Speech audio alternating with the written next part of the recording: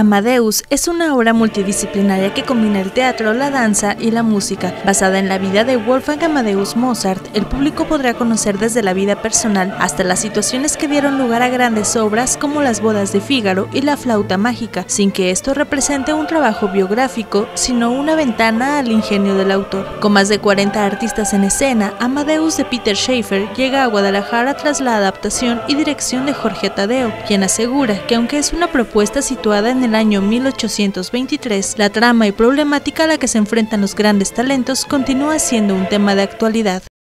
O sea, la premisa es, eh, tenemos a la mafia italiana, o sea, tenemos a un grupo de artistas de dudosa calidad que son ampliamente apreciados por las autoridades, por las figuras de poder de la época, y estos son los que prácticamente mueven todos los hilos. Llega un genio como Wolfgang Amadeus Mozart, que sin duda es uno de los más grandes de la historia, y por supuesto que es confrontado.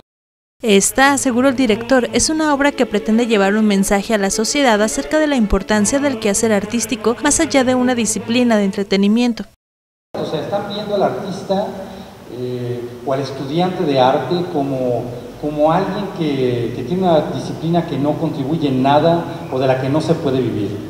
Yo creo que por supuesto que, se puede vivir de esto y que sería uno de los accesos mucho más dignos que, que puede tener el, artista. O sea, desde mi punto de vista, eh, el artista es el que está creando esa gran batalla por volver a elevar ese nivel humano, ¿no? Eh, que tiene que contrastar, por supuesto, con esta tremenda realidad que vivimos. ¿no?